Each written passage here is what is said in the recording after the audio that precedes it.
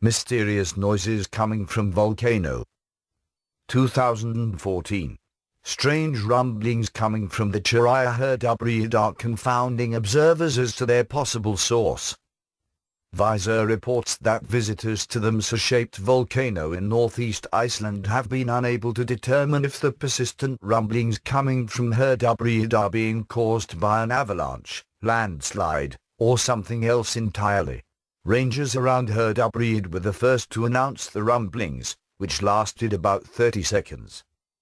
Yesterday, Icelandic rescuers who had been searching for a group of French tourists found them at the foot of Herdubreid safe and sound, although they said there had been an avalanche.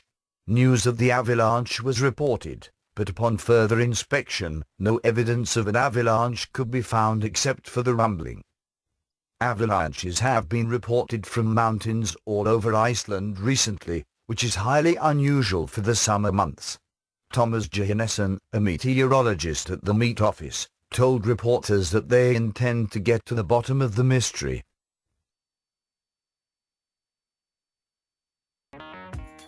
Thank you for watching. Please subscribe to us on YouTube, Facebook and Twitter. You can visit us on www.therealthingmean.webs.com.